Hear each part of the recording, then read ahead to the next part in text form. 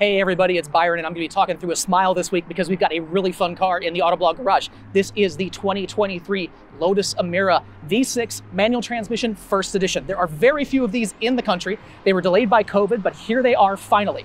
It has 400 horsepower. The engine is in the middle. It's a 3.5 liter Toyota V6 with a supercharger on it. It's got hydraulic steering, not electric steering, so you feel everything. It's got a tiny little pedal box so you can heel toe even if you don't know how, you'll do it by accident.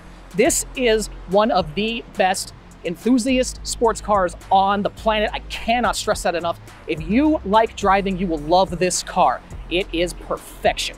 All right, now before we get into the mechanicals and all the greasy stuff that makes this thing move, let's talk about the body because this thing was designed from the ground up to be fast. This thing is designed for grip, whether it's mechanical grip that you get from the suspension or aero grip. And as you can see, aero was a huge component of the exterior design of this car. You have the massive intakes in the front, brake ducts on the sides. We have air extractors here under the hood that both pull air from the ground to keep the car planted and pull air out of the cooling systems that are under the front. Remember, the engine's not up there, it's in the middle.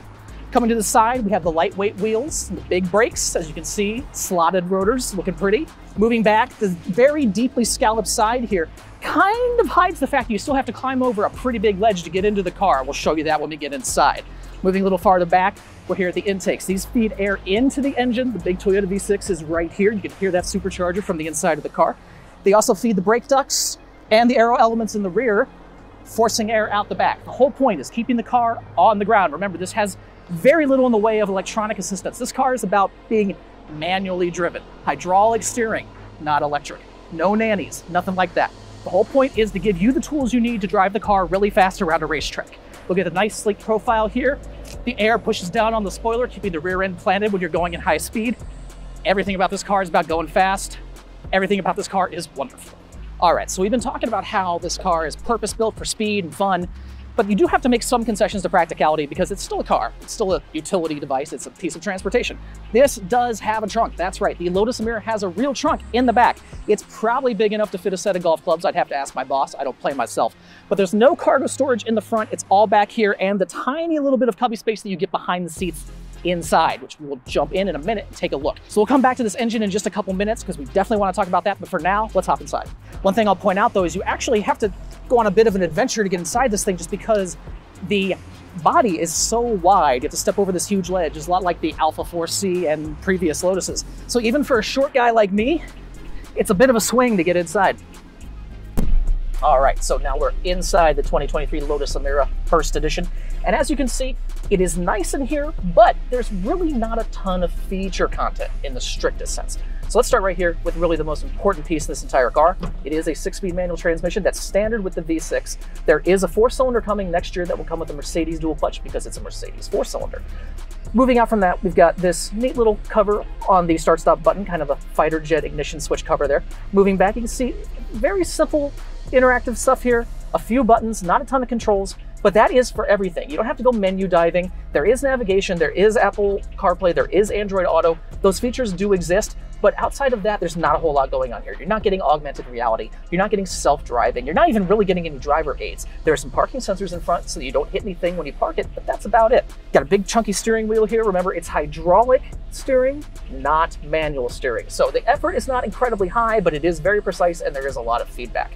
See, we've got a nice digital cluster display in there too, and there are some little nice things kind of scattered around the cabin. We've got the leather and leather look stuff here on these seats and center console. This is a real metal, or at least a metal veneer on the center and over here on the speaker guard on the door. There are even memory positions for the driver's side power adjustable seat. So it's not completely lacking in features, but it's very clear from the moment you step in that the whole point of this car is driving fast. And when you put your feet into that tiny little pedal box down there, you know it was built so that you can heel toe. This is a track car, first and foremost, a comfortable GT, eh, second or third at best. All right, enough about all that stuff. Let's get to the beating heart of this beast. Now, this is not a new engine. Nothing about this is particularly modern or fancy. It's a 3.5 liter V6 sourced from Toyota. It has a supercharger on it, 400 horsepower. So what you're getting here is a car that weighs a little bit less than the Nissan Z and has basically the same power. So what's so cool about it? Well, everything else. The engine's in the middle, which provides amazing balance, allows the car to rotate really aggressively, both getting in and off the throttle, which is dangerous if you're not very good at driving. But when you're not spinning out, you'll be having a wonderful time. This thing is all about driver focus. And this really says it all. They're saying you don't need a brand new modern engine with a ton of electronics just to go fast. This thing will do it just fine. It gives you more than enough power to move this thing around because it only weighs about 3,200 pounds. That's amazing for such a large, sporty vehicle. So it's kind of old fashioned, sort of like my outfit, but it's fast, it's fun, it's incredibly well balanced, and it tells you everything that's happening all the time. If you enjoy driving, you really can't beat this.